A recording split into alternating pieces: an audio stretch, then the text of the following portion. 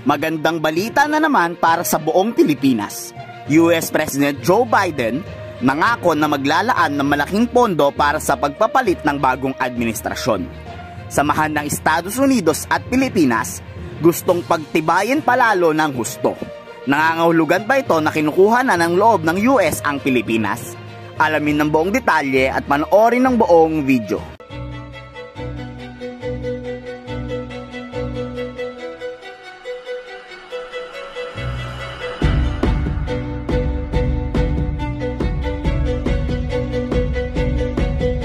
Sobrang ikinatuwa ni Pangulong Duterte para sa bagong pagpapalit ng Administrasyong Marcos.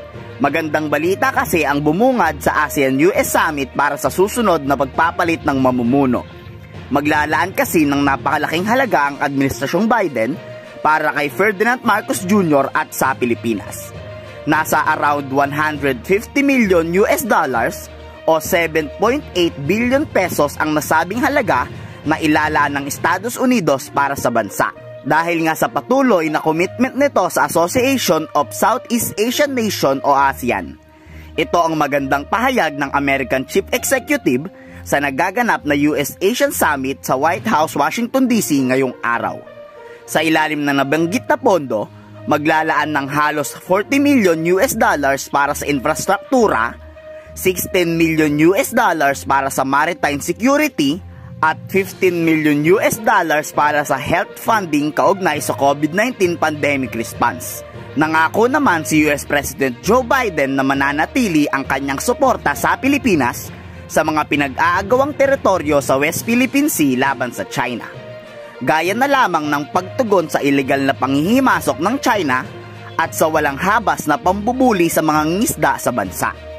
Dagdag pa ni Biden, maaasahan ng Pilipinas ang Estados Unidos sa oras ng kaguluhan, katulad na lamang ng nangyayaring kaguluhan sa Ukraine at Russia. Binigyan diin din ni US President Joe Biden ang kahalagahan hindi lamang sa kooperasyon ng seguridad, kundi maging ang pagsusulong sa patas na karapatang pantao laban sa mga kaanib na bansa. Asahang tatalakayin din ng ASEAN leaders at magpupulungan ang mainit-init na usapin ng climate change, seguridad sa digmaan, at pagsasagawa ng sustainable infrastructure.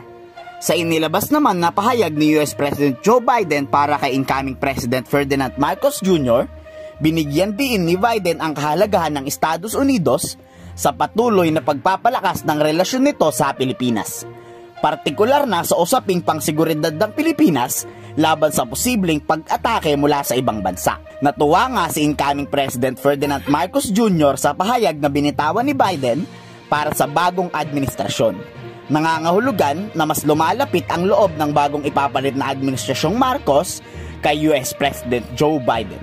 Ano ang iyong reaksyon sa pahayag ni US President Joe Biden na maglalaan ng milyong-milyong doryal para sa Pilipinas? Ikomento sa baba ang iyong saloobin.